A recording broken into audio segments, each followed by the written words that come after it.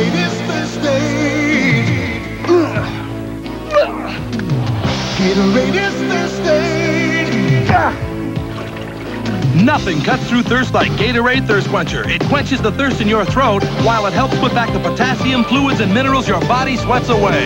Gatorade